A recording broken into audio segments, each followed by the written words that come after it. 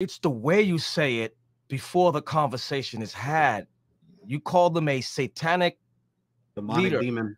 No, mm-hmm. but if I was Richard, I wouldn't want to talk to you. You called me Alexander the Coppersmith. My man, I don't want to talk to you. You don't do that to Calvinists out there. You do it to charismatics, Corey. You Okay. stay doing it with charismatics, but with Okay, hold on. Justin Peters and others, you're gentle. Is there a difference between some of those folks versus the extreme charismatic? Yes, it is. So I don't think you genuinely want to have that conversation. I just think you want to be heard. If you got something that you feel like is from the Lord, shame on you for not telling people why.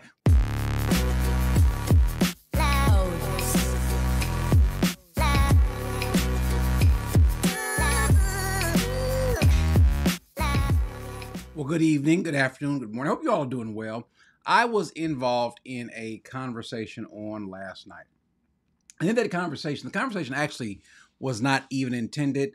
Um, someone, JP, was doing a review of a video that I did on Richard Lorenzo, and in the video, they, the the people on the on the on the on the uh, the broadcast, excuse me, JP and the, and the young fellow, I believe his name is Berto, uh, they were joined by Alexander Pagani. Now, so these are these are I, I think Berto, I think I think he's he's charismatic as well. So they're three charismatic who were reviewing a video that I did on on uh, Lorenzo.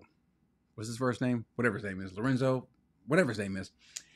And the guy has made and said some things that are just so far off.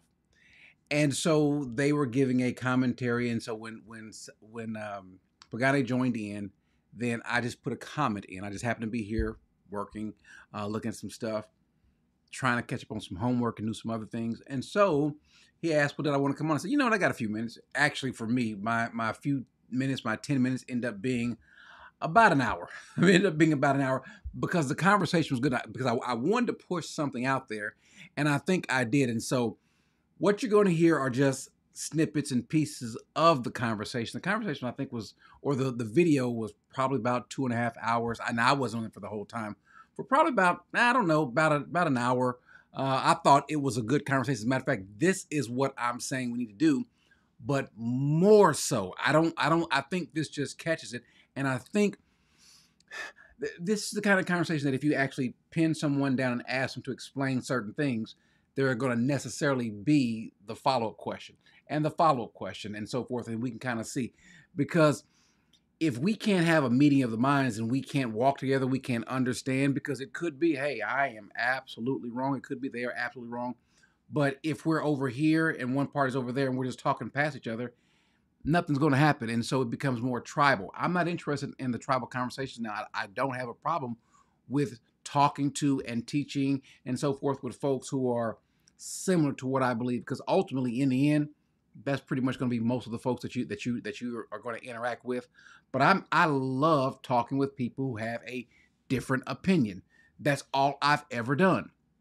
That's how I got to be where I was just having the the willingness to engage. And so uh, the conversation went I, I thought uh, it there was a little bit of intensity to it and a little bit of emotion but I think it was fine. I, I don't think the, there was anything wrong with what was happening. And then the young brother um, uh, Abednego. My and I think I may have seen him. Abednego, are you are you in the chat? I think I've seen Abednego, and if he's the same one that I that I saw on uh, online, uh, I think he used to be a basketball player.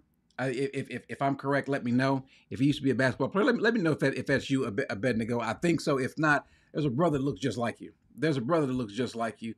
Uh, and by the way, if that is you, yeah, I want to see you on the basketball court. I think I can. I think I can take you. I think I can take you. Um, but we'll see. That might just be, be me talking. But uh, yeah, you can't you, you you can't handle me. I just want to let you know that, young fellow. But the conversation was good. Uh, he joined in, and so it was one, two, three. I think it was five. Yeah, if I count right. Let's see, Abednego, the other brother, uh, Emmanuel that joined, and uh, yeah, so five five charismatics, which is fine. By the way, that's how I like it. I like it when it's three against one, or two against one, or five against one. Hey, what you know what? Remember, it was me and 42 Muslims. I think that if you act now, I could be wrong, but I think that if you actually have truth or you believe that what you have is the truth and you can back it up, I don't think I don't think the numbers matter. Not to say that that these are the enemy, because I'm not saying that these that these guys were the enemy. I think our doctrines differ, um, but I just want to see who's willing to have the conversation because people that aren't willing to have the conversation, there's typically a reason why they're not willing to have the conversation. And I don't I don't mean just, you know, in terms of having a spectacle. I'm not I'm not after a spectacle. I'm not after some, you know, some show. When someone comes on, be it in the past Pagani or be it in the past uh, Marcus Rogers or whomever, the guy that called me a wolf. I don't want a show. I don't want a spectacle. The last guy that came on and made it about a spectacle and so forth, I kicked him off when he started started just tossing out racist stuff. You got you got to go, and that's not what I'm looking for. Again, I, I feel like I'm old enough to where I've passed that point in my life. So anyway, having this conversation, I thought I thought it was pretty fruitful, so I kept going and did not get to my homework. Doggone it, I wanted to get to this homework last night, but I didn't. So I'm one day behind. But I want to start off with the conversation. The whole conversation was centered around what I said, and they were harsh words without question about Richard Lorenzo Jr. To go as far as saying, you know, Richard Lorenzo is a Satan worshiper. You know, um, I would rather him say, you know, this is this is heresy or, or maybe unorthodox and, and, it might be erroneous, but um, Richard Lorenzo pretty much is. I, I, don't understand how Satan is casting out Satan. Richard be out here in these streets, man, casting out demons and preaching the gospel, and folks be getting saved and baptized. You know, I might not run in with his camp, and you know, um, but Jesus said, "Whoever's not against me is actually for me." But well, so now when you say that, and all, everything that he said is is correct, but there there needs to be some sort of caveat added to that. For example if we read Acts chapter 8 and then we go up to the point to where Simon asks for or tries to buy the Holy Spirit, it looks like Simon is out there in these streets. It looks like Simon has a true conversion. It seems like it looks like Simon is real. And what I don't want people to lose sight of is the enemy is good at what he does. You cannot be charismatic and ignore the devil, what they talk about a lot as far as casting him out and so forth, and and I rebuke you, Satan, and get behind me, Satan, and so forth, and stepping on the devil's head, all that kind of stuff. Well, I think they need to realize, people need to realize that that that Satan is not some some some big target, meaning he looks like the devil, he acts like the devil, and you can see him and see there he is. That's not how he moves. How do I know? Well, let's look at his MO. Let's look at how Satan has moved. Go to the garden.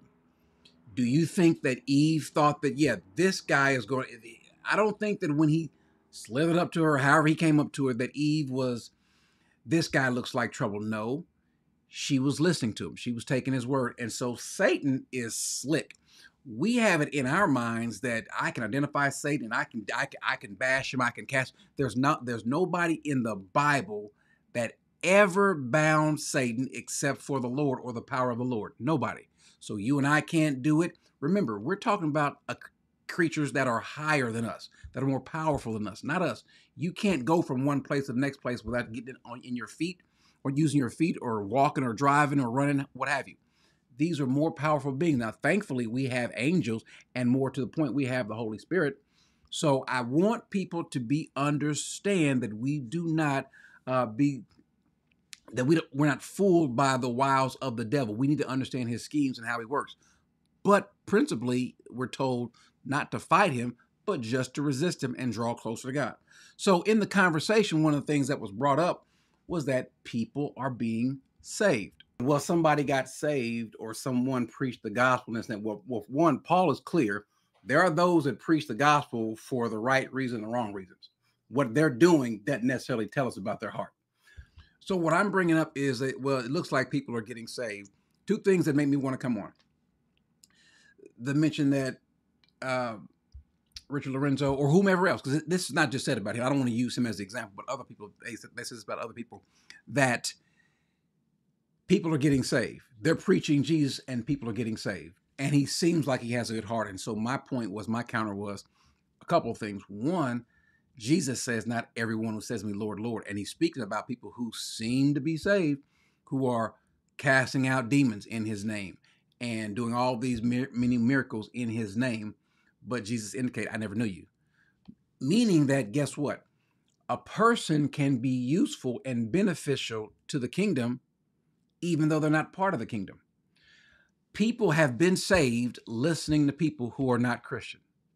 There are those who were literally saved by listening to, after listening to Jim Jones, after listening to other heretics, uh, false teachers, dangerous people. It's happened. Why? Because the power is not in the gospel preacher, the power is in the gospel, as Paul says. And so in this case, touting who is saved or who got saved, one is if we know who got saved, because we don't know who's saved to begin with. That's just not I don't think that's a wise thing to do when trying to defend if this person is actually of Christ. Jesus tells us that there are those, there are many who say, Lord, Lord. And then they'll say, I've done this in your name. I've cast out demons. I've prop- I've given revelation. Doesn't matter. So we've got to stop with what we think looks like salvation. One, we don't know if they got saved. Number one. Number two, even if they did, the credit doesn't go to them, it goes to Christ. Because and, and it's a common thing to speak about somebody else's heart, right? Now, before we go to we're having this conversation, I also start talking about someone's heart. Paul also says that some people preach Christ for the right reasons and the wrong reasons. Some people preach it out of envy and strife, ultimately for their own gain. And what does Paul say? Nevertheless, at least Christ be preached. Why? Because if the truth comes out of a false teacher's mouth, it's still truth. It still is. The, those are the words that God used to cut someone's heart. Now, now, how sad would it be for Bob to give the gospel to Mary? Mary places her faith in Christ, and Bob goes to hell. And we'll see people like that in. Well, we won't, hopefully, because we won't be there. But we'll see people like that. There'll be people like that in hell, and there'll be people like that in heaven who owes. Uh, I don't want to say debt of gratitude, but uh, the words that, that they, that they heard they heard that from someone that's a false teacher. There are people that have placed their faith in Christ at Joel Osteen's church or at a TD Jakes church or anywhere else. It, it, it happens because the power of the gospel transcends the individual. Notice the Bible says that these words, all scriptures are inspired, God breathed. Didn't say the individuals, because if that were the case, then the apostles and whomever else would be perfect. And we know that's not the case. And so now we're talking about the person's heart is this person who we think he's a good guy? This person, uh, I think we're being too harsh on pastor so and so, preacher so and so, this person so and so because he seems to have a good heart, or I know he has a good heart, right? But every last one in this in in this on, on the screen, and everyone in the in the chats, and everyone that you know has come across somebody that you thought you knew their heart. I, I could have swore he was this or she was that. So we guys, let's stop doing that because what what what is demonic oftentimes is veiled. It doesn't look like it is. I mean, the devil, right? So, how many of you ladies, how many of you guys can just think back, yeah, look at him. He's just girl, he's the right one. And he's sweet too, and all those things. And look at him. He's he's nice and he's smart and he's strong and he's bald on top of that, loves the Lord. So yeah, you but but you can't see his heart. Matter of fact, what you see clouds what you should be seeing. You don't see what everyone else said. Have you ever noticed how many times has someone else saw what you didn't see and for them it was evident? It was clear, but you couldn't see it. You couldn't see it because you wanted so much for him to be the one. You wanted so much for her to be the one. You wanted so much for that job to be the right job. You wanted so much for that guy that's selling you, I don't know, that vacuum cleaner, that car. That, yeah, this guy, he's a nice guy and so forth. People are taken by other people all the time. What's the old saying? There's a sucker born every minute, and oftentimes they're Christians because we go by everything. Remember, the Bible says that there are people out there that are tossed back and forth by every wind of doctrine. There are folks just fall for so many things. And that's what the devil plays on. He's not hard to spot from a distance, but up close, it, sometimes it's difficult, which is why you need a, you need a spotter. You need a wingman. You need somebody looking out for you saying, hey, listen, hold on, hold on, hold on. Because sometimes we make decisions based off our heart. And so we shouldn't we shouldn't try to judge the situation based on the person who's saying it based on their heart. Well, they meant well. They seem to mean well. The devil's not coming at you, hey, listen, I'm coming to destroy you. No, again, he comes disguised himself as what? An angel of light. So it looks like his heart is good. It looks like what he says is good. Which And I like I like what CC Williams said. said Ted, Ted Bundy was charming. Charming is all good out. Hey, D.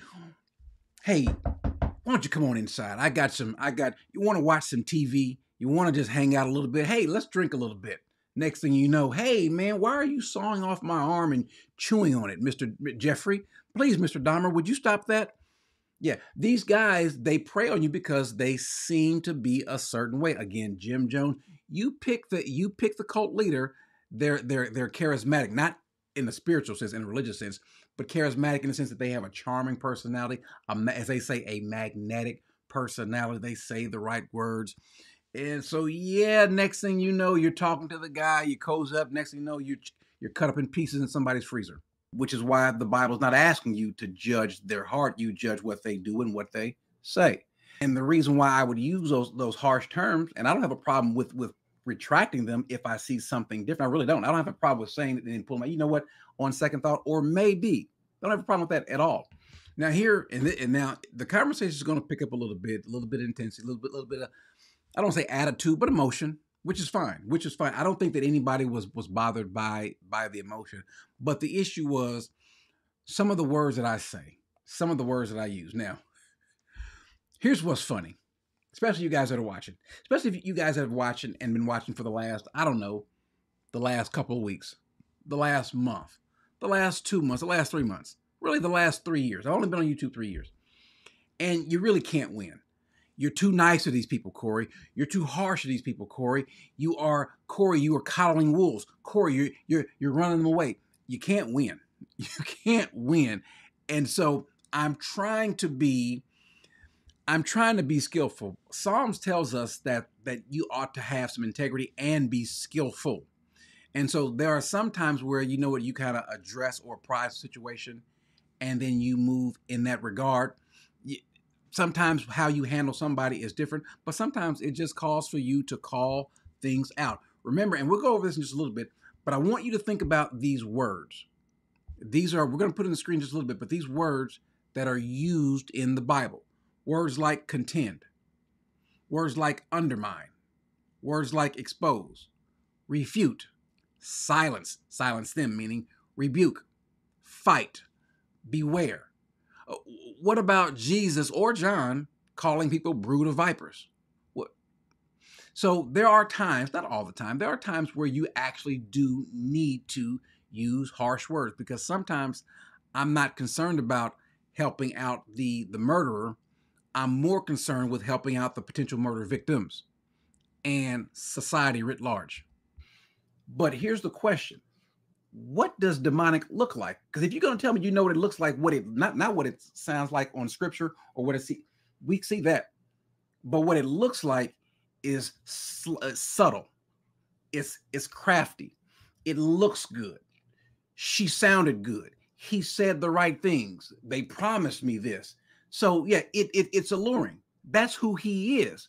We got to stop acting like he is upfront and overt. No, he looks like he's got a good heart. Yeah, but so now that's the question. That's the question. Um obviously we if something is demonic, we call it out. So maybe we just got to get better at at identifying what's demonic.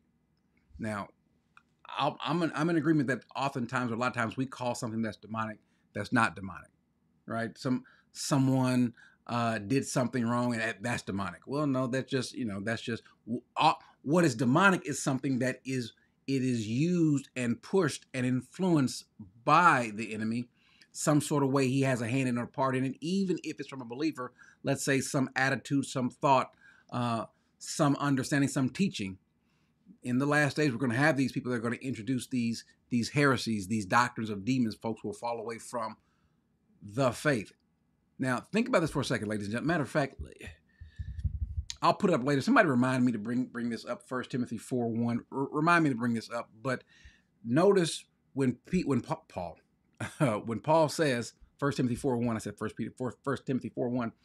That there in the last days there will be people that are going to fall away from the faith, not from having faith, but from the faith.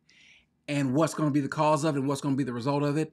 These um, these doctrines of demons, these these doctrines these teachings. Notice because he's talking about the faith and these doctrines. So what's going to be the what's going to be the uh, uh, uh, the reason for people falling away? Bad doctrine, bad teaching. So guys, so one of you moderators remind me to go back to that. I don't feel like typing. I got all this other stuff put in here. So that's something we need to be, be careful of about the fact that if it's demonic, it's demonic, and let's recognize how do you call, how do you how do you recognize what something is demonic? Because oftentimes how he shows up is looks beautiful, looks good to me. But Corey,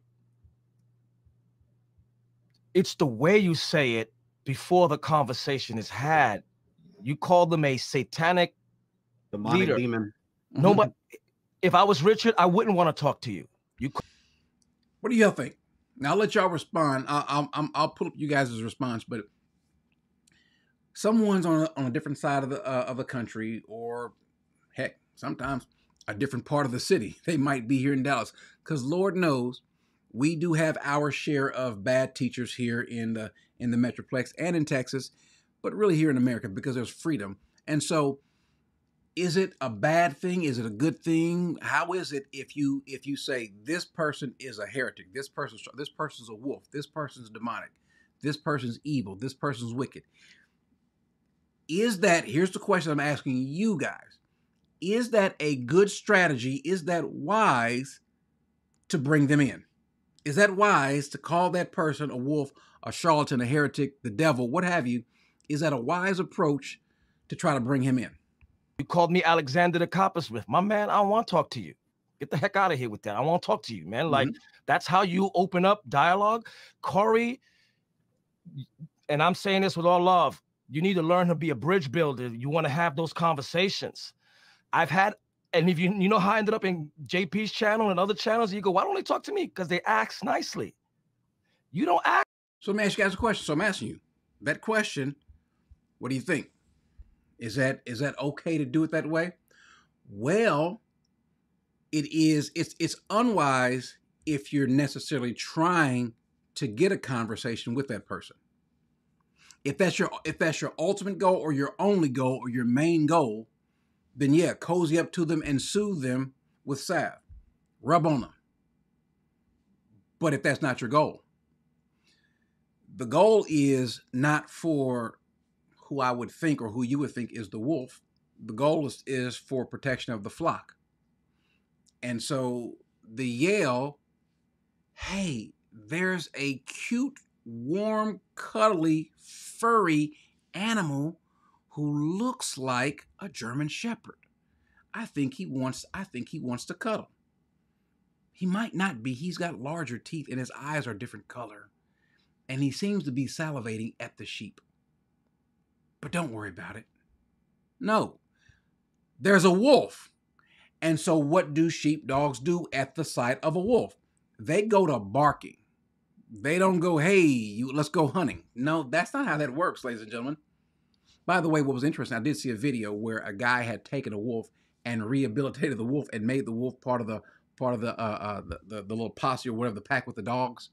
And so this this this wolf is actually helping to protect the sheep and so forth. But one day, I, I just worry that if this this so-called rehabilitated wolf ends up just I don't know licking one of the sheep and tasting the sheep, he he might you know what I think uh, you know what that tastes pretty good because that's his that's his nature. And so the goal is not for the benefit of that person. The goal is to get rid of that, like Paul in First Corinthians 5 Paul says to get rid of that chump. He didn't call him a chump, but get rid of that bum. Get rid of that jerk. Throw his behind out.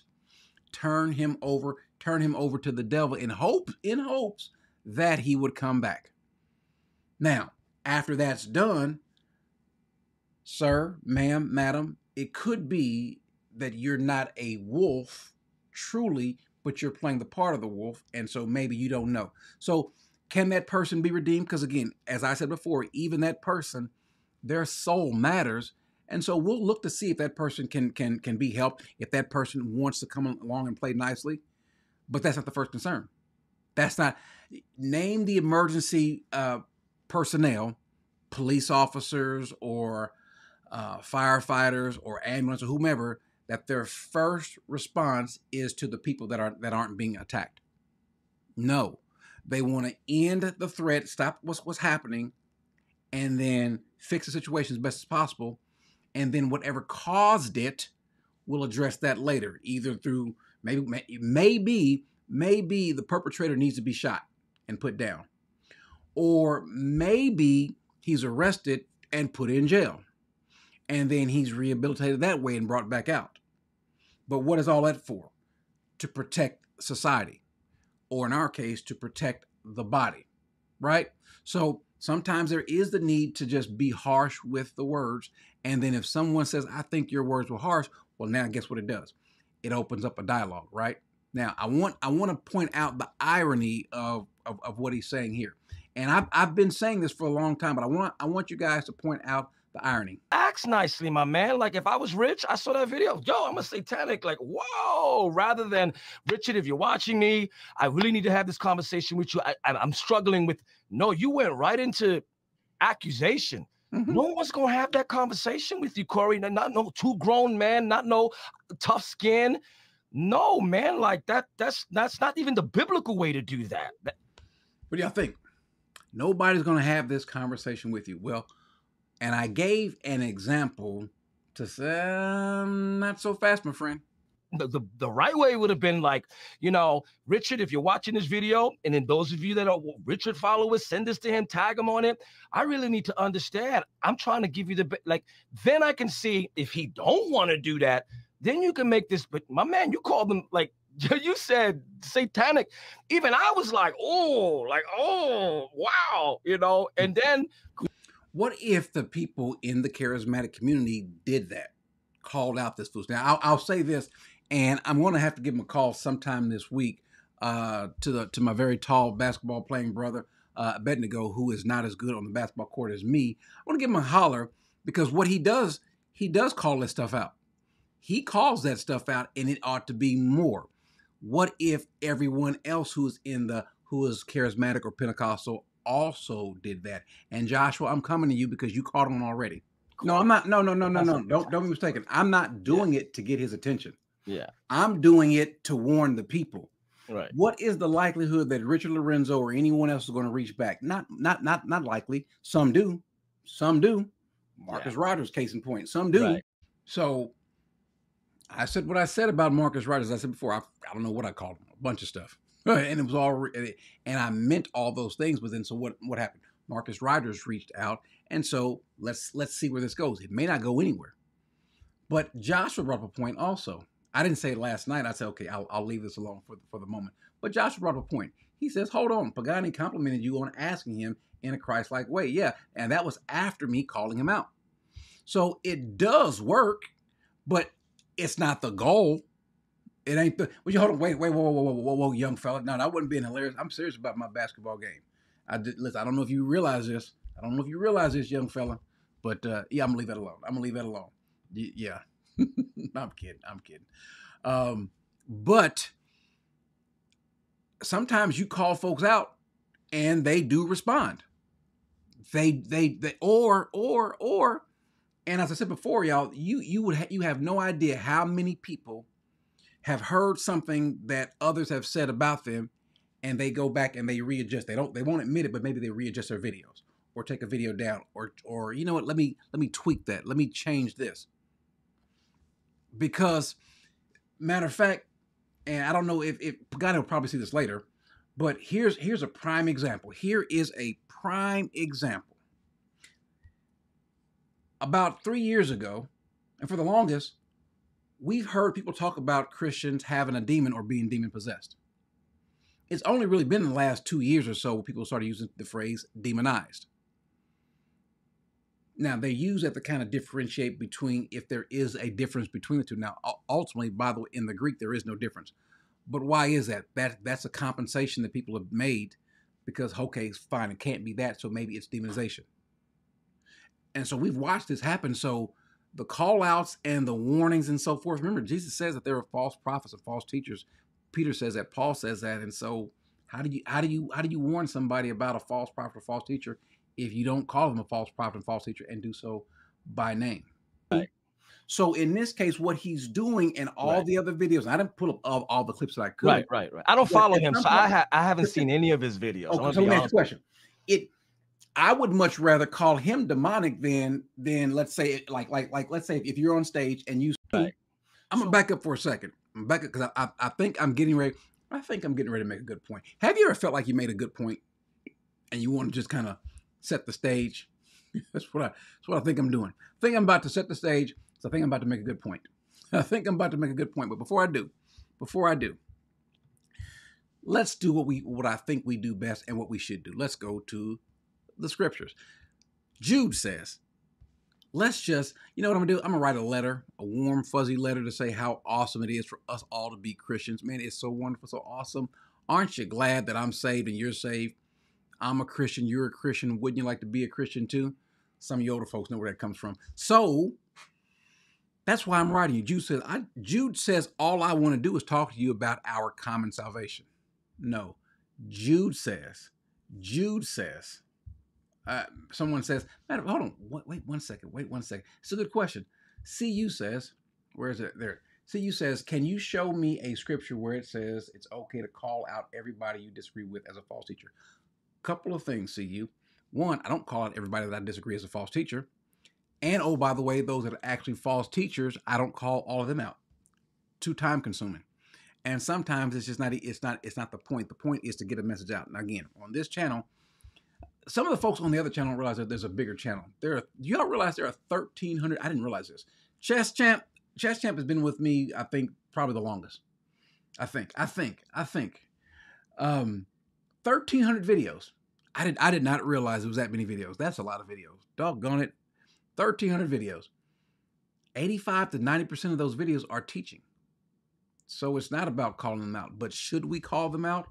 Well, if a person, my contention, if you don't call them out, then you're not reading your Bible. You are not being, you are not being um, a believer. I mean, you're not being a, you're not being legitimate. You're not, you're not being a, you're not devoting yourself to the scriptures and following what it says. So what does scripture say?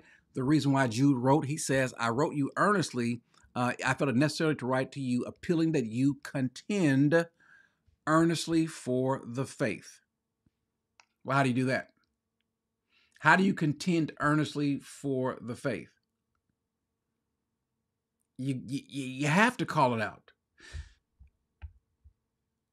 I'm going to say something, and, again, this is this is going to be, ladies and gentlemen, y'all forgive me. I might I, might- I might I might lose a, a large chunk of subscribers and viewers on tomorrow, but I think it's going to be worth it.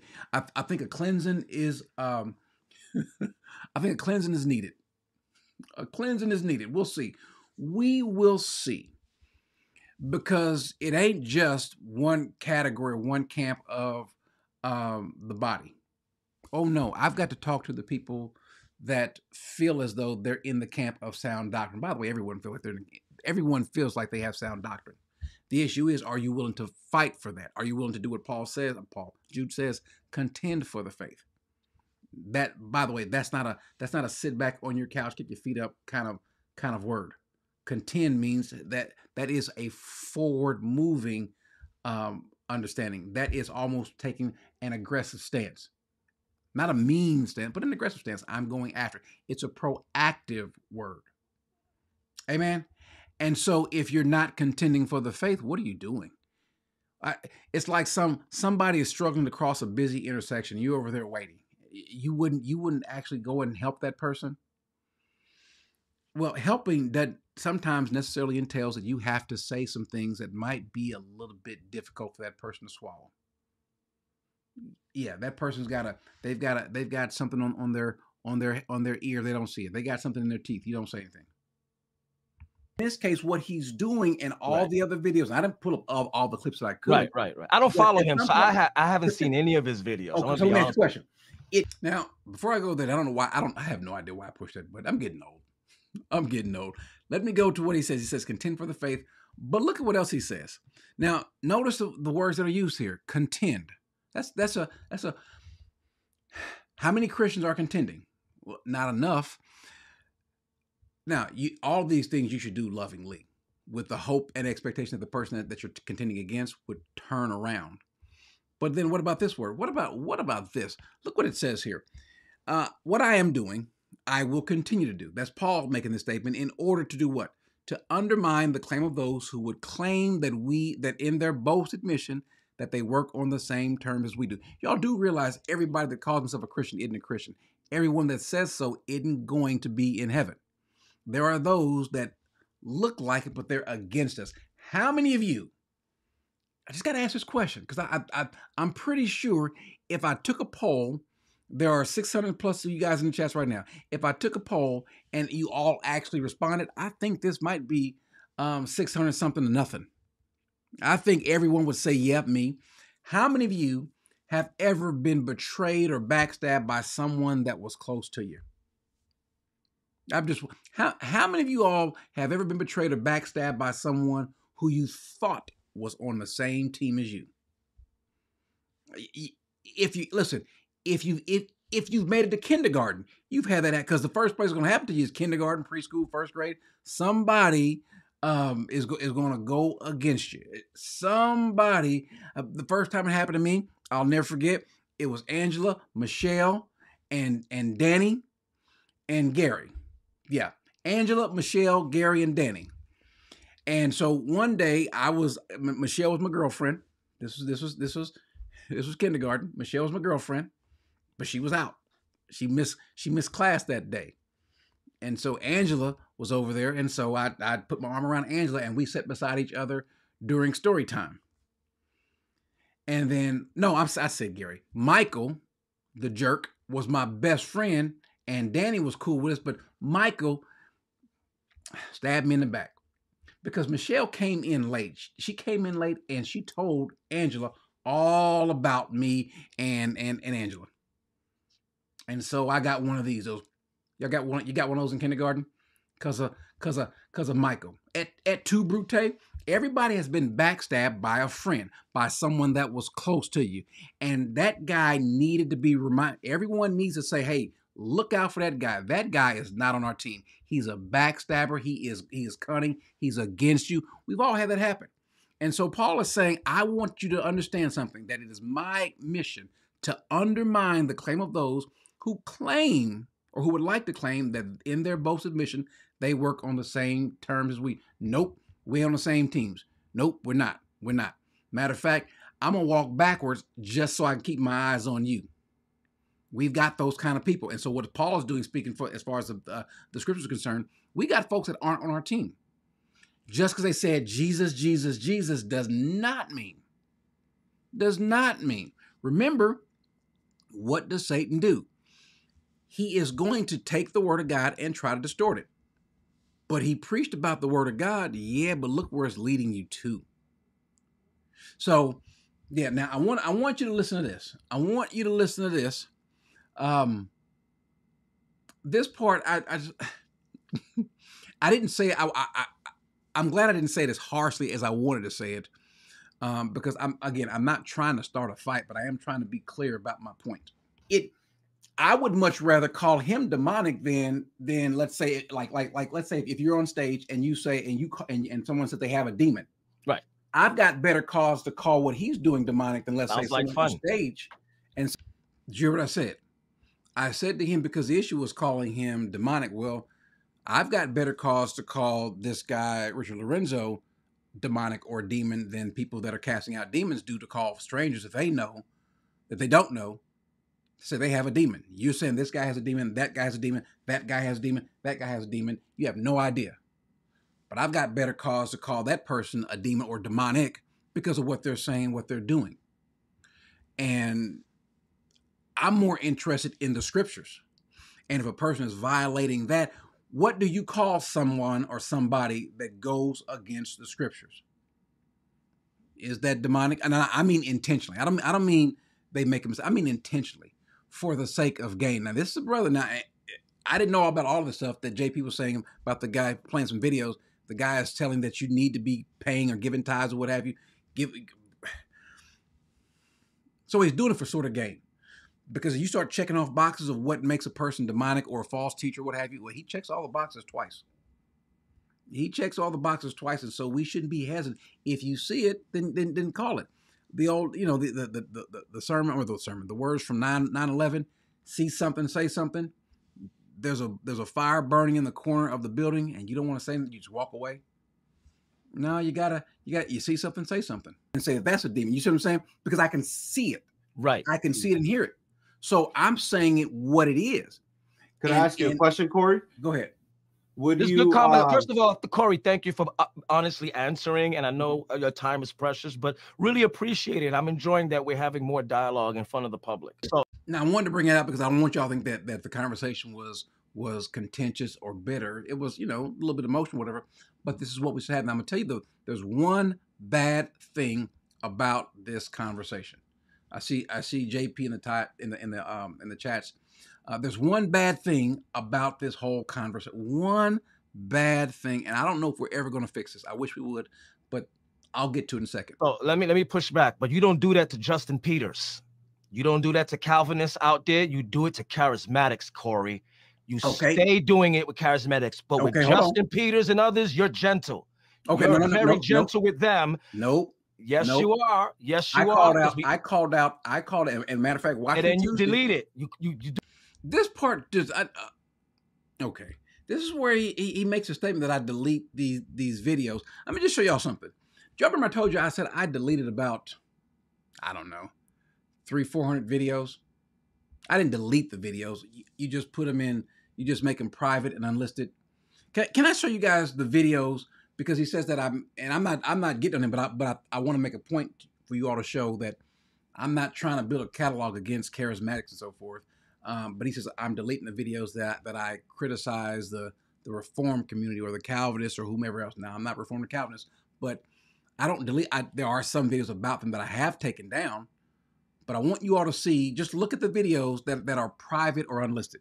Let me just go ahead and put this on the screen. Where is it at? Uh, there it is. So these are the ones that are that are private and unlisted, and I want you to notice how many charismatic themes or charismatic faces are on here. Uh, there's one. There's two. There's three. Uh, there's four. Listen. There's a whole bunch of demon slayers and Cal. I'm Calvinists. Demon slayers and charismatics on here. Okay. So I'm taking down videos. I saw that. Take. I'm taking down videos of people who are mostly charismatic.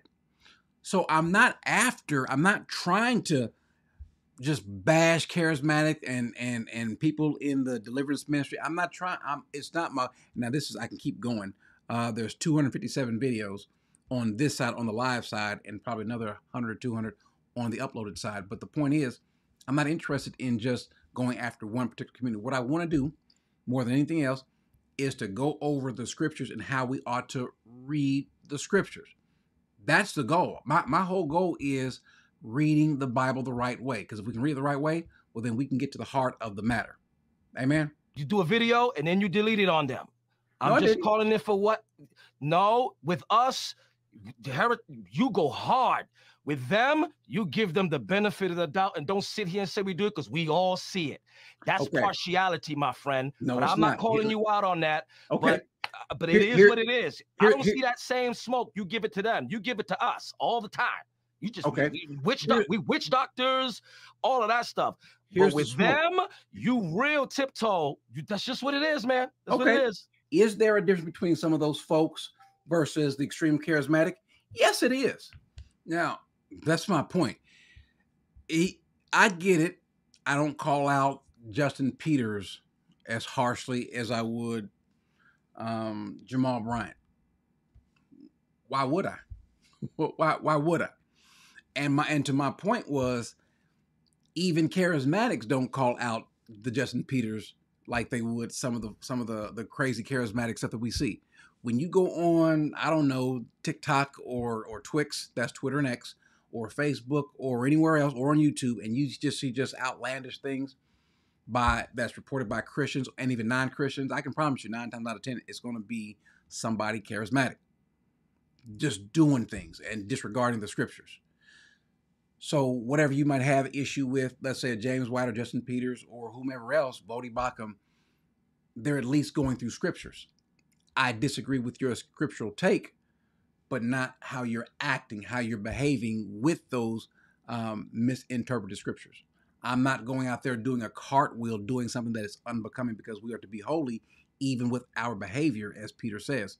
And so, yeah, there's a, there's a there is a is it just, maybe it's just me, but I think it's a huge difference between Justin Peters and MacArthur and uh, Baucham and James White and your your friendly garden variety Calvinist or Baptist or whomever else versus some of the more outlandish charismatics. And that that is the issue.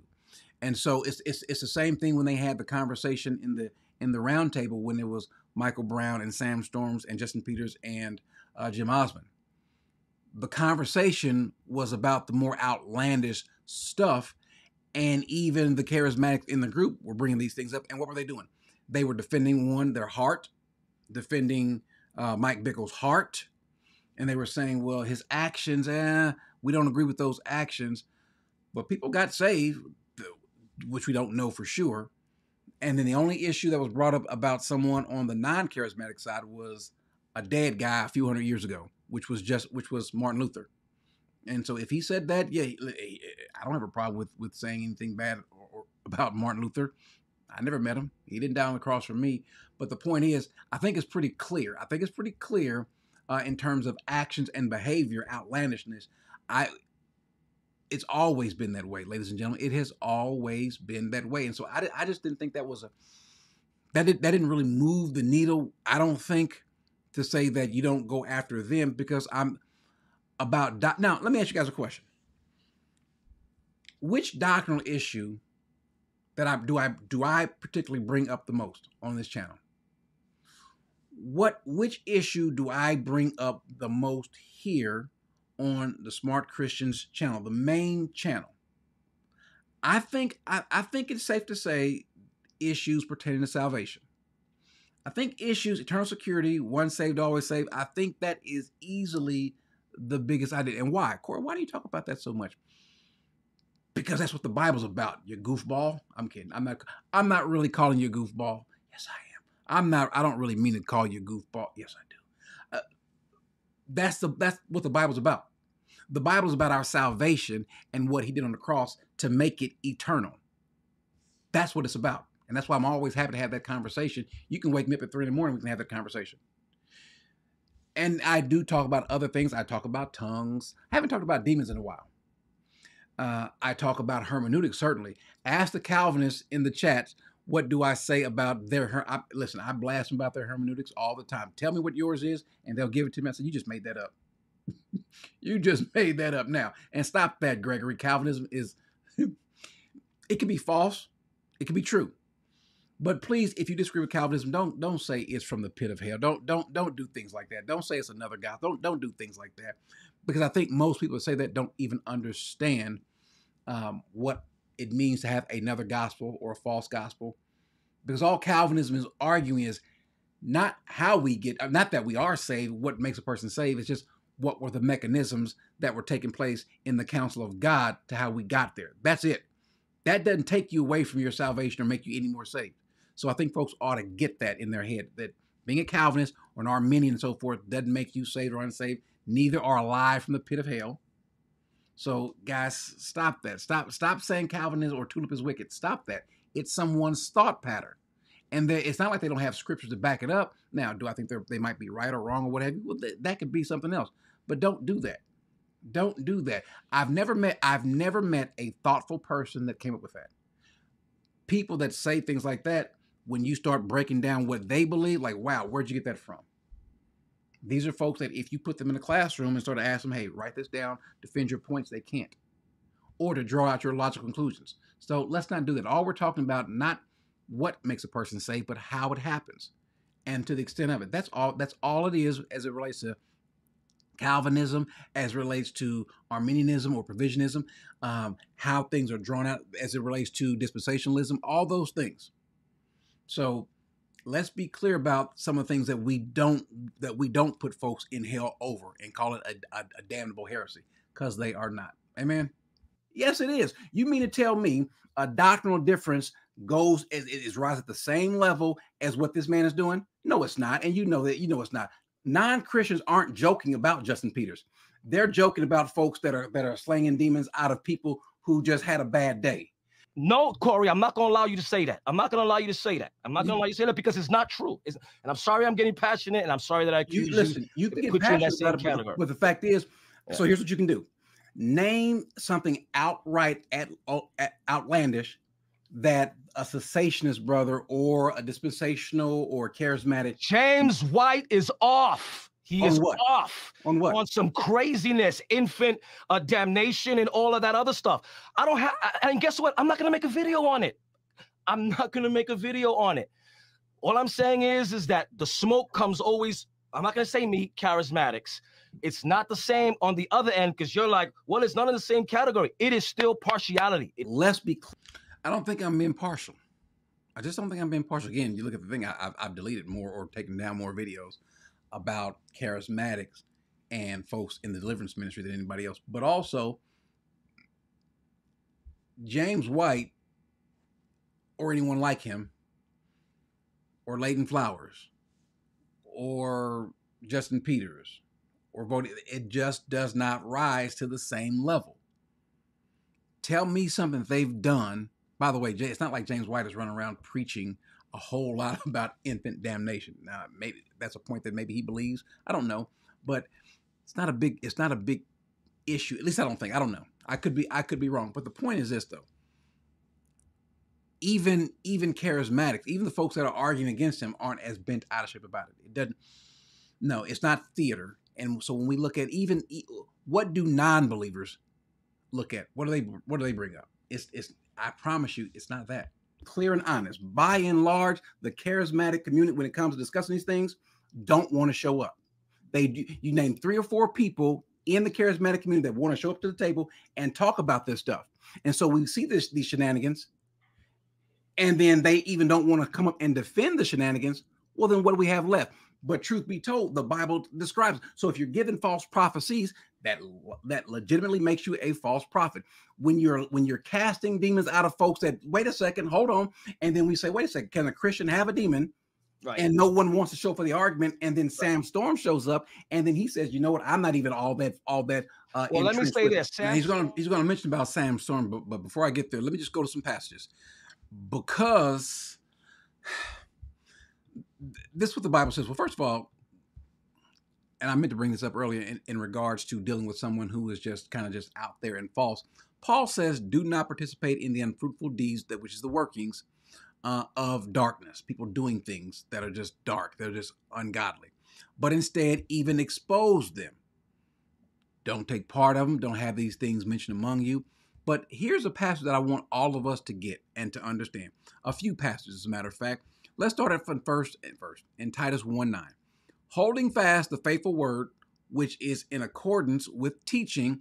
Understand the Bible is the Bible is a big supporter about sound doctrine. I don't know if you know this or not, but the Bible is the Bible is big on the Bible. The Bible the Bible values the words that are in the Bible. The, the Bible is pretty big on sound doctrine. So it says holding the faithful words which is in accordance with teaching so that he will be able to do what? If you got these, if you hold fast these words, you can you're able to do what? To exhort in sound doctrine. And here it is. Someone asked, well, why did, why why call these people out? And to refute those who contradict.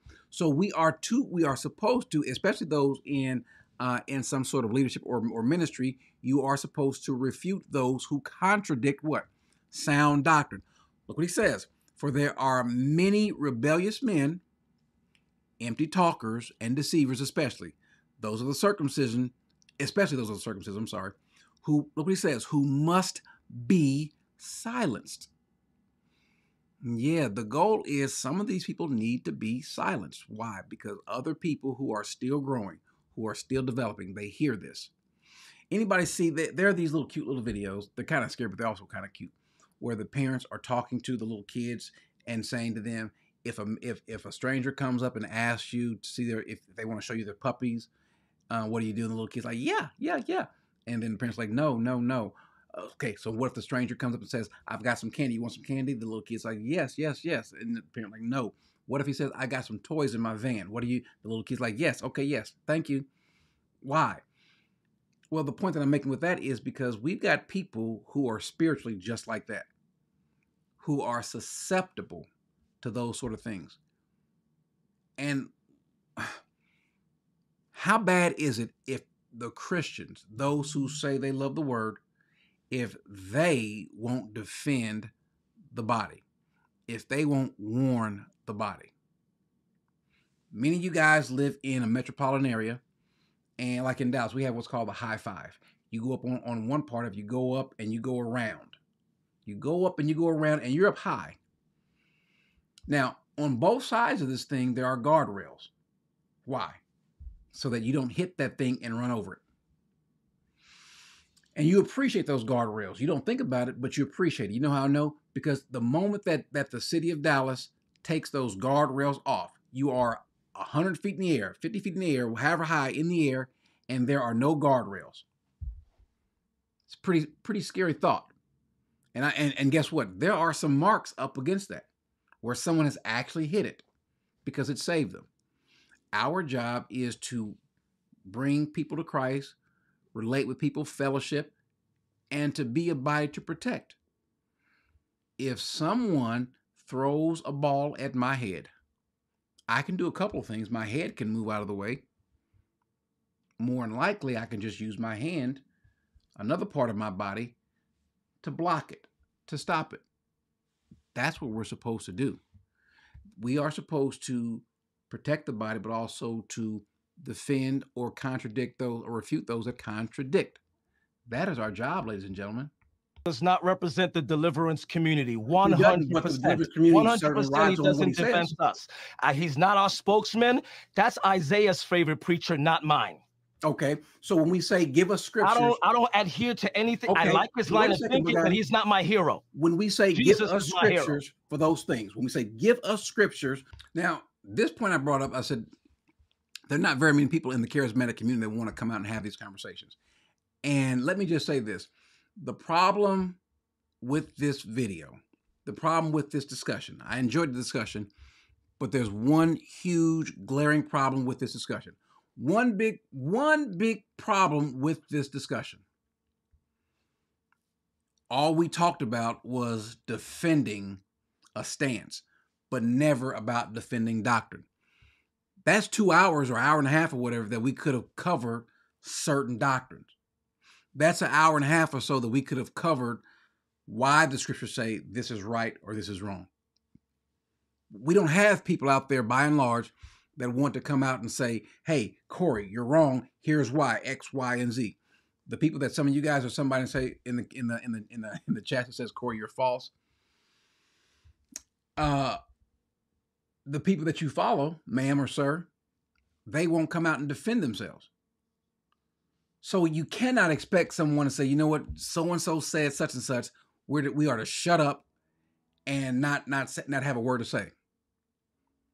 No, I, I'm I'm curious. You said this can happen to a Christian and that can happen to a Christian, and I don't see that. So therefore, so therefore, my question is this: How then do I know if I'm if I'm mistaken? Here's a person. I'm sorry. I'm, I'm sorry. I, I called you a lady. I'm sorry. This, this is a, this is a man a young fellow uh, with glasses and looked like a hat. Might be a, a wave cap. I'm not sure. Do rag. I'm not sure. Young fellow. African American man. Afro American teenage looking uh, young fellow. He says, Apostle, wrong. Richard Lorenzo Jr. is a true man of God who is used by God Almighty in a mighty way. Have you heard what he said? Doubtful. You know why?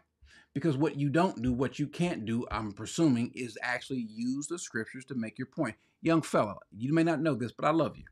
I'm I'm concerned about you. I have care for you. So much so, reach out to me.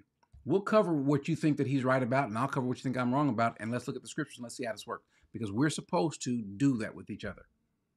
You're supposed to love me enough to say, here's why you're wrong, Corey. Here's why.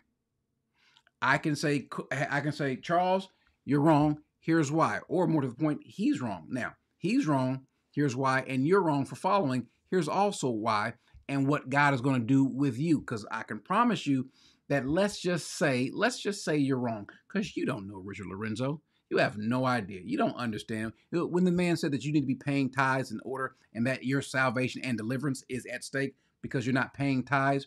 You don't know the implication about that. You couldn't. If you did, you wouldn't make the statement. But if you did, though, and you go up and you and you are deceived and being deceived, deceiving and being deceived, don't think that God is not going to ultimately turn turn his attention towards you. Because he will. He will. So, brother, send me a, send me a, a, a, a not a text but an email and we can we can talk. We can do what most people who disagree don't do. We can literally have this conversation for those things. And I give I give scripture after scripture after scripture after scripture, and I want to have conversation. And then those on the demon slayers or anyone else, crickets. If you Pagani, if you're gonna say you're not, if you're not leaning on Sam Storms or uh, nope. Jack Deere or these other guys or whatever, nope.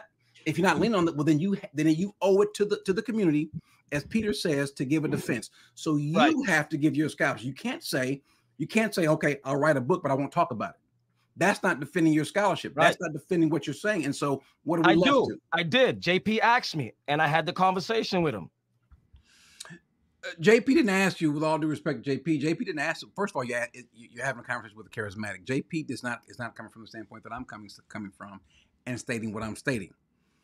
And you don't have to respond to me, nor does anyone else have to respond to me but it also means that I don't have to acquiesce to what someone else is saying. So if I'm saying, hey, I don't see this as happening, I don't see this as right, I'll, I'll say there's no such person in the body uh, that has the Holy Spirit in them that had a demon cast out, not one. There's no such teaching in the in the Bible that teaches anyone how to cast a demon out, and we don't see it even happening after um, after every people group in the New Testament has received the Holy Spirit. So after Acts 19, no more casting demons out. It's such a big issue, we don't see that. And so I just want to, well, well explain to me this, riddle me this. Why, why, why? And then let's look at the scriptures. Let's look at the scriptures. Let's see, let's see. Uh, the young brother, my young African American teenage looking brother, male, good brother of mine, Charles, he says the gift of the Spirit is still for today. Didn't say it was or wasn't.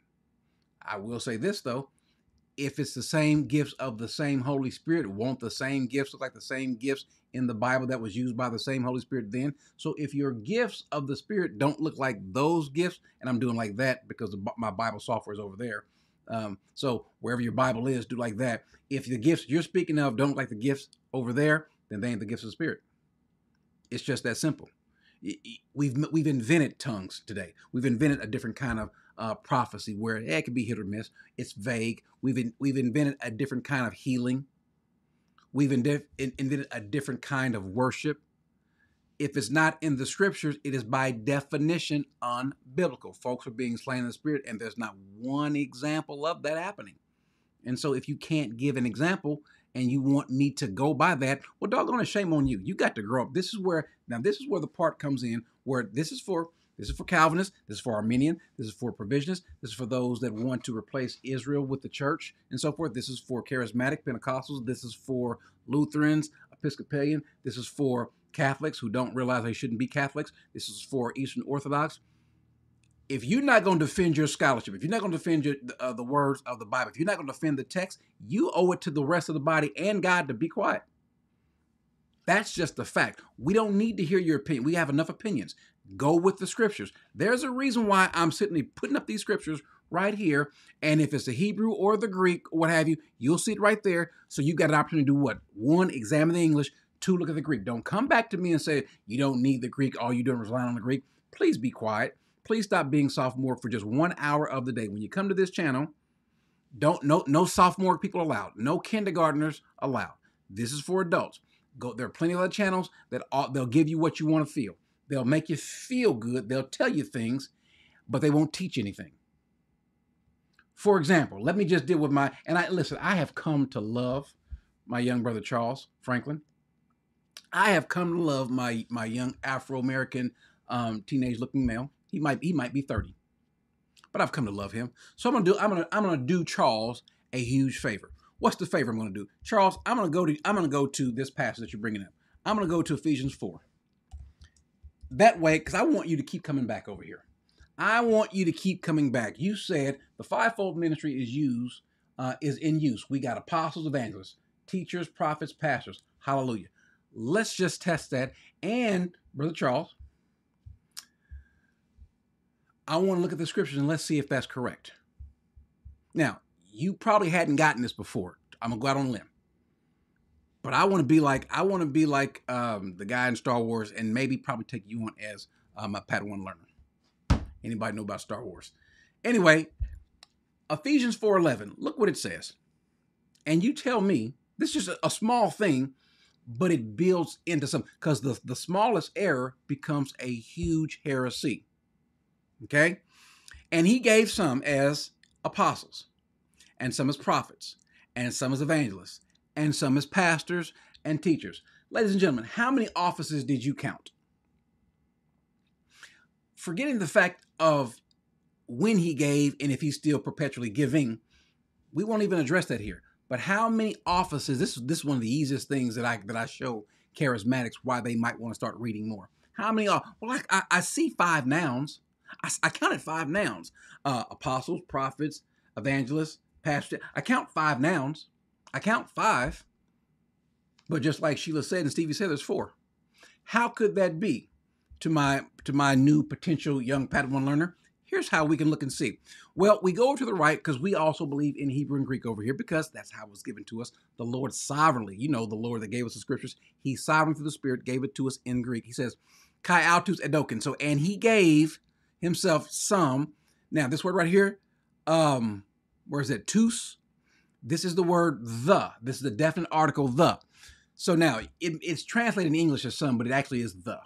So here it is tous main apostles. So he gave, and they're in the same, they're in the same um, uh, declension. I'm sorry, declension. They're in the same case ending. So tous apostolus, that's one. Are you with me? Tous apostolus, that's one. De tous or tous de prophetes, that's two. Tous de prophetus or tous prophetes, tous prophetas, that's two. Here's the third one. Tus day, day is post pause, so you shift to the front. I don't want to go into that, but tus euangelistas. Tus euangelistas. That's three. Okay, definite article with the noun. Here's another one. Tus poimenas. Kai didaskalus. Houston, we got a problem. We've got one definite article, one definite article with two nouns. How could that be? And I'm specifically asking my my my, my, good young friend, who I love, I love you, I love you to death, uh, Charles. How could it possibly be that these two words right here, pastor and teacher, or pomenas, which is shepherd, poimenas, and didaskalos, which is teachers, how come there's only one definite article? Just two, right there, two. Poimenas didaskalos. Why? Because they're the same pastor teacher is the same. It's the, it's describing the same office. Well, of course, not a big deal. Four versus five. Yeah, it is. Yeah, it is. Because if you can miss that little bitty thing, that insignificant thing, what else are you missing? And so we are believing the whole Bible. Don't you think the Greek counts? Or do you, or so if, because if, if you're going to say believe the whole Bible, but don't believe what I just read, you're not believing the whole Bible. This is where you have to grow. And young man, let me just be clear with you. This is where you and other people who disagree have to grow up and and deal with the text. It's what it says. It was given for a reason. He didn't give it to us because some some young kid or some young person or somebody or some old man or old woman in America said, you know, I don't, I'm not feeling that. Okay. All right. You can deny the scriptures if you want to. So now going back to what we're doing, you have to you have to pull this stuff out. Why? Because somebody is in danger. Now, after you pull it out, after you refute these people, after you silence these people, after you after you rebuke them, there's going to come a time where you want to extend love to them without question. I want I want you to come and learn the scriptures or teach me. Doesn't matter, but we'll be going through the scriptures together. When do you determine? How do you determine if something because you don't know the person? Mm. How do you determine if something is because if you do, I'm, I'm assuming if you do determine that something is demonic, you let folks know, right? Yeah. Okay. So what causes you to determine if something is demonic? What I do is like I will binge watch people like crazy. Now, this is this is Abednego. This is this is um I don't know, Abednego, you still in, in the chats. I need to know if you are if you play what were you, small forward, power forward? You look like you was probably a power forward, not a small. I don't know that you could probably shoot that well, shoot a three that well. I'm just I'm gonna go out on a limb. You don't look like you got a jumper. You might though. I'm just I mess with you. But no, what he's doing is he's saying how does he determine who is a, a false prophet or false teacher, what have you, right? And so now he takes time and, and, goes through as much of their material as possible. And I've seen a few of his videos and that makes sense now. That makes sense now because he seems to be pretty thorough. That makes sense. I'm not going through a ton of what you're going through. I'll go at it as it comes. Most of it I cover. Somebody sent it to me. And I'm looking at this. Okay, let me let me look at another clip. If it's a long, if it's part of a sermon, I might take time and actually look at the sermon. And so that's what that's what Abednego is speaking about right now. I will. You can say I have no life, but that's something I do. You know what I mean? That's what, something I do, and I love saying, it. But, People but can say whatever they want. Because I don't, I don't, I, I don't know, and we're not speaking the criteria. The criteria. What, what's what's the criteria? What causes someone or something to be demonic? I would say if someone teaches blatant witchcraft, like the third eye, astral projection, saying that they can hear what you're saying when you're over there in Europe, or their soul leaves their body, or they say, you know, sex before marriage is not a sin, or they teach um, you got to sow a thousand dollars in order to get this blessing from God. Stuff like that, that is actually doctrines of demons that cannot be found within the scriptures at all. Now, someone's saying someone has. Now you see where he's going with it, right? He he he's he's kind of talking about the the result of some of these bad things, but he's making his way back, and that's one of the things that that at first I actually didn't know he was he was charismatic. At first I didn't. Uh, there's I, there there's a lot that I do like about Abednego. There, there really is. And so, you know, let me just let me just connect with this guy. But but notice where he's going with this. And then I think his definition and then or his criteria as well as Pagani's ends up coming back to me. Has a demon isn't going to lead them to hell. It's not going to lead them away from Christ. I think that's just a conversation we can have doctrinally, but it's not going to ruin someone's salvation and it doesn't make them less or more of a Christian. Would you say? I, I believe primarily the basis by which we determine someone is false are the scriptures. Yep. And the ad- whether they adhere to the scriptures faithfully um, in all forms, you know, and if there's a consistent, willful violation of the things that they teach, because um, I, I believe what Abednego is saying is more the things that they practice. That's yes. like the things that they practice, you know. But if a person is uh, willfully violating the scriptures, then I, I would say it would be safe this is why I, am totally I'm I'm with Corey. I'm like I got you, man. Like I'm I'm I'm I'm, I'm like yes, you know, because you know some of the videos you did on Jamal Bryant and others. I'm like yes, like yes, amen. Okay, you know, so what makes it willful? You know, willful would mean that if someone who has the authentic truth of that verse is trying to correct them on that and they willfully violate that consistently after being corrected by brethren saying that's not what that means. We need to have a okay. Catch that. Catch that. so a person that is when they get they have this pattern of constantly doing something, their doctrine's off, they will not take correction. And what they do also shows up not just in what they think, but also in what they do. So check, check, check, check, check, check, check. One with this guy, Richard Lorenzo, but two, all these other people. And the problem is, at some point in time, you have to be willing to pull the trigger and say, yeah, that is false. That's wrong, no matter who it is. Doesn't mean that you can't come back and have a conversation with them anymore. Doesn't mean that they can't, that you can't be open and ready um, for them if they want to, you know what, I was wrong, or if they want to listen.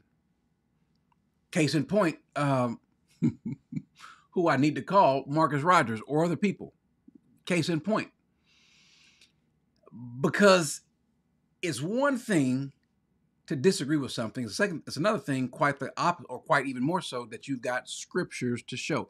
We are literally called, ladies and gentlemen, this is we should we should, as my young brother said, we should we should listen to all the scripture. Well, I solemnly charge you in the presence of God and of Christ Jesus, who is to judge the living and the dead, and by his appearing in his kingdom, what does he say? Preach the word. Preach the word. Let's put that on a t shirt. Be ready in season, out of season. That means all the time. Reprove, rebuke. There's another word. So, so far we've covered contend, undermine, expose, refute, silence. Uh, he's going to speak about fighting later. So, fight and rebuke. All of those things are things that he's that, that we're being told to do. Rebuke, exhort. How so? With great patience, meaning all the time or long suffering, and he says to do so with instruction. So do it with the scriptures. For the time will come when young pups who talk about the fivefold ministry, when not, there's not a fivefold ministry, the time will come when they will not endure sound doctrine, but they'll have itching ears and want to have for their, their ears tickled. They'll accumulate for themselves teachers in accordance with that. And so we have to do so. Is it are, are we going to win? Are we going to actually convince all of those people who are listening to unsound doctrine to come around? No, we're not. No, we're not.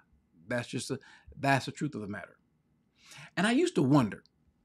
I used to wonder why do we have why is the Lord even allowing so many false teachers to deceive people? And then how come we don't have so many people who are actual true believers who are still listening to some of this stuff?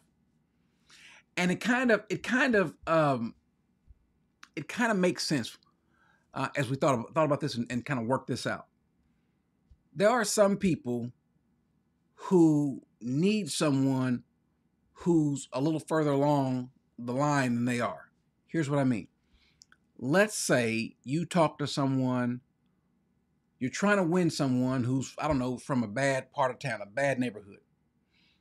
And there's somebody who's from that bad hood who's not really in that bad hood, but kind of understands the lingo a little bit and still has some tendencies, well, that person might be able to still reach back and pull that person better than someone, let's say, who's from a, a farm or someone who's from, I don't know, Wall Street to pull that that that that kid out of the hood out, right?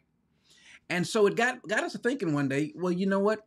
When you start hearing the gospel, the people that are preaching to folks that are in this kind of movement are typically the kind of people who uh, used to be in that they might still have some lingering uh, acceptance of it, so forth. So, so in other words, God is using people, good or bad. Um, God is using people who have good doctrine or bad doctrine. He, he, it's just how awesome He is. He's using all of these people as tools to bring more and more people to the kingdom. Now, I wish if it were me. Here's a stupid statement. You won't hear a dumber statement all day long, all year year long. You ready for this absolutely stupid statement I'm getting ready to make? if I were God, there it is. If I were God, I wouldn't do it that way. How many of y'all said that? Something like that. If I were God, well, we're not. Thank God. But I would eliminate all bad doctrine, all bad teaching. Matter of fact, I would get rid of sin. But then again, if I got rid of sin, I would have to get rid of all of us. right? So we are to do this. Now, notice what Paul is saying, and this is what, by the way, this is where This is where Alexander Pagani got upset. And by the way, I told him, I said, I, I, didn't do this on purpose, but we were doing the video. Some of you all remember, I just got kind of caught up and it made sense. You'll see. Uh, he speaks about those folks that have that have left him. And by the way, before we get there, he says that I have fought the good fight. He says, uh, verse 6 For I'm already being poured out as a drink offering, and the time of my departure has come. Paul knows I'm getting ready to die. My head's about to leave my body. I have fought the good fight. How many of you are interested in fighting? I have finished the course. I have kept the faith. Notice what he says. This is why this issue of doctrine is important, ladies and gentlemen. What does it say? I have kept the faith. I have kept the faith. Uh, Tateleka, tain, pisting. I'm sorry, wrong word. Wrong. Well, I'm in the wrong sentence. Uh, tain, pisting, teteraka, tetereka, which is the faith I have kept. But notice what he's talking about not not having faith, but the faith. The faith. The faith. I have kept the faith. The tenets of the faith. Not having faith, but the faith. So that's what Paul is talking about. I have kept, because every time that we see in the Bible someone moving away from what looks like salvation, it always describes them as moving away from the knowledge or the faith, the tenets of the faith, the belief. And so he says, in the future there is later for me a crown of righteousness. So Paul knows I'm getting I'm getting ready to be killed. And so what is Paul doing? At Paul's death, notice what one of the last things that Paul does. At the end of his life, Paul is saying, um, Alexander the coppersmith did me harm. The Lord will repay him according to his deeds be on guard or beware of Alexander. Uh, uh, be on guard against him for yourself, for he vigorously opposed our what? Our teaching. So it's the teaching, it's the doctrine, the instructions, the tenets of the faith that matter. Now, when I when we did that, I wasn't I, I wasn't even thinking. I didn't even think about it initially to talk about beware of Alexander. So I told her, you know what, Al, Pagani, I, actually I was just just playing. I didn't even realize that until you know you get to go and say, oh, it says beware of Alexander, and so we just ran with it. But the point is, for anyone, our issue is the teaching, the doctrine. Let me give you an example. So someone to say something like this, Corey, you really need to be in prayer, which is to assume I'm not in prayer. Okay. Uh, and fasting because you'll because you definitely you're definitely off about Richard. What and and, and young uh, uh, sweetheart, here's a, here's a question. Here's a point. Here's the issue. You guys keep defending Richard Lorenzo, but where are your scriptures? Where is your scriptures to say that what he's doing is right? Where are your scriptures Corey, you're wrong? Here's what this is. Here's what that is. I'm sorry. And you can say that this is an arrogant stance. It's not. It's just truth. You want to know the reason why most people in the charismatic community don't want to have a conversation? Can I tell you the reason why? Because they don't have the scriptural backing. Because when we start talking about certain things, certain issues, if we start going through the text, this is what this word means, this is how this is taken. This is, remember I said we don't want to necessarily learn or memorize the scriptures. We want to memorize the story. They don't even understand what's happening in the story. That's the biggest problem. That's the part that, that bothers us the most is when we see people who are making these statements but will not defend the text, then pardon me for not really having a whole lot of concern about what you say, because if you're not going to deal with the text, then what good are you? What good are you even to anyone else? All you can do is offer an opinion. Well, what happens if, if the day turns? It goes from being Tuesday to Wednesday or Thursday and your mood changes. So now all you're doing is giving an opinion that is just either didn't have the same attitude or it's not as forceful because it's your opinion. But the scriptures stay the same. So whatever I say in in from that Paul says in in first or second Timothy, or what John says, or what Jesus says, or whomever says, whether I said on Monday, Tuesday, Wednesday, Thursday, Friday, it's the same thing, the same force. How do I know? Because there's power in that. When you come telling me that a Christian can have a demon, and you come telling me that all these Christians have the power by the Holy Spirit, that just listen, that is a, a big problem because the Holy Spirit is so powerful that he can work in you and you can do all the things that Jesus did, and even more so, greater stuff, which that's not what it's saying, but you can do greater things, better things, more things than Jesus because you have the Holy Spirit in you. But the one thing you can't do is not is is is is keep yourself from believing. The one thing the Holy Spirit can't do is keep you from believing. The other thing the Holy Spirit can't do is keep demons out of you, even though He says, "Greater is He that's in me than He that's in the world." No, no, no. Those scriptures don't matter. I'm so powerful with the Holy Spirit. I'm so indwelt with the Holy Spirit. I'm so anointed. I'm too anointed for this shirt. I'm too I'm too anointed for my cat. Yeah, all that. I, I'm I'm just covered. I'm drenched in the Holy Spirit. So much so, don't touch the Lord's anointed. Don't don't even say a word against me because I'm anointed. But I can lose my salvation. Holy Spirit strong in me, but I can lose my salvation. Holy Spirit strong in me, but I can but a demon can come in and uproot the Holy Spirit. The Holy Spirit is strong in me except when it matters except when it matters. And I go back and look for the scriptures and ask for someone to give me the scriptures, and I get what? Crickets, nothing. Nobody can say any word, and that's a problem. And if you're not willing to have the conversation, then don't get bothered when folks don't care about your fact that you got to have a conversation and keep saying to other people, because I need to know if I'm right or wrong. And if you don't believe them, if you don't, if you don't care enough about your doctrine, your teaching to prove it, we got a problem. Because what does First Peter, um, uh, First Peter three fifteen says? Sanctify Christ in your heart and always be ready to give an answer to the hope that's in you from anyone that asks. and I've said it to Lily. It doesn't have to be public. Right. We can have this conversation because when folks say, "Hey, it, is is Pagani a brother?" What if I say? I, I have no idea. I'll treat you like one because I want to talk to you. Now, same thing with any, with anyone else. And so I need to know what you believe because I could be wrong. I could I could be wrong, but I'm not going to believe I'm wrong if you won't talk to me or show me. Sorry, I don't think that's why you ask. I think you believe you're genuinely right and you just want to have the conversation. I've because nobody's ever seen you very rarely say, you know, I was wrong in that. And even and you backpedal, you backpedal when you say it. So I don't think you genuinely want to have that conversation. I just think you want to be heard. And so his point was you, you just want to, you just, I guess for lack of a better way of putting it, you just want to talk. You just want to be heard. No, I don't. I, I, I listen. I could care less. I could care less. Um, I am not promoting myself in that regard. But if you, again, if you talk to me, I can say I've got a few minutes and then we get to talk and we're on scriptures here and there and so forth because that's just my heart. My heart, my passion is is are the words of this book and teaching. That's really it. And so no, I'm I'm gonna I'm gonna have to disagree. I really am, and maybe I'm wrong. Maybe I'm wrong, but you got to talk to me and tell me. And so Pagani and and and and and Marcus Rogers and Saldivar and whoever else, you owe it to the body. If you got something that you feel like is from the Lord, Shame on you for not telling people why, for defending yourself. Shame on you if, if what you have is from the Spirit, is from the Lord, and you don't defend it. Well, then one, you're, you're violating First Peter 3. Two, you are letting us down. I need to know if, if I don't believe in, in general, generational curses, but right. you believe so. You've written a book about it. Well, then yeah. tell me, maybe I've got one. Right. How I break it. That's my point. If, if what you say is strong, so much so that you're willing to type it out.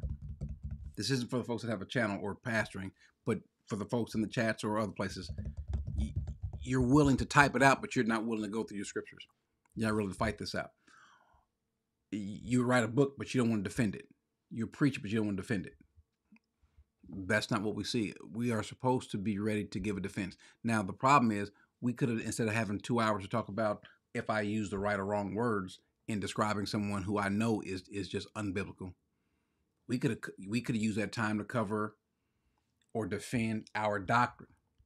Well, what about this? We could have just chose one aspect, one something, and made some, you know, now I'm grateful for the conversation, but ultimately we didn't really make a whole lot of headway because we still left, hey, all right, good conversation, but didn't get a chance to sell it.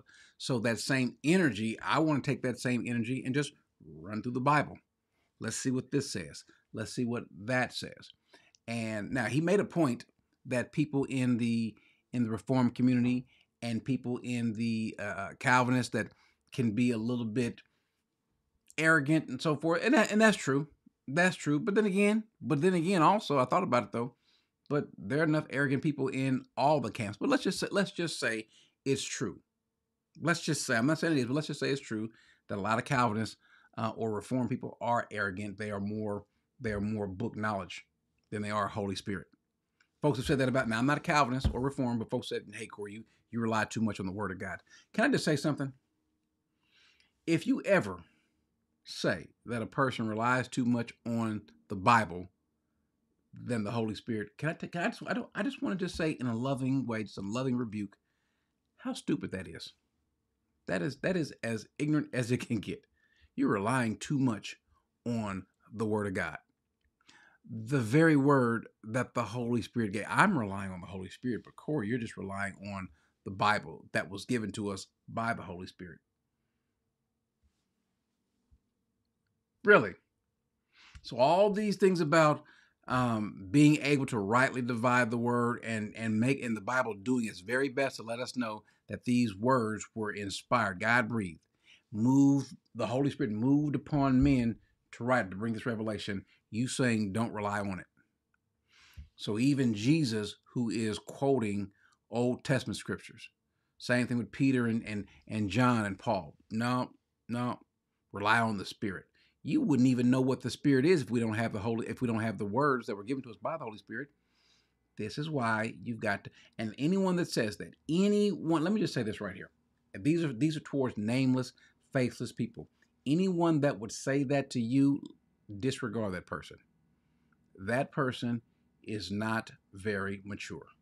That person is still drinking milk, biblically speaking. He he gave us his word, he preserved his word. Think about it.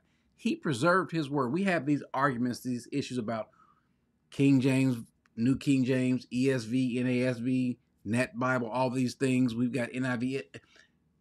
He preserved his word even in those different translations but don't rely on it. No, no, we're, we're not going to do that. We're not. I disagree. I disagree. He gave us this for a reason. Now, he he does give us a guide. And I'll be honest, there might be times, I'm pretty sure there have been, where I have violated this and I want to be careful about it. You want to be careful not to really go too. There are times where you want to be careful not to go too far in your assessment, but then there are also times where you want to, where you want to make sure you go far enough. And it's a it's a balance. You can either roar like a lion or you can speak like a lamb.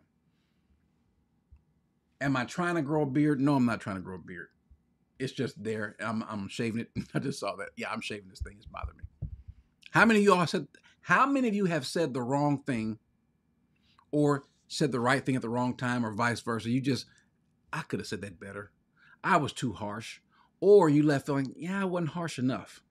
Eh, eh, we've all done that. We've all been there, and so it's difficult.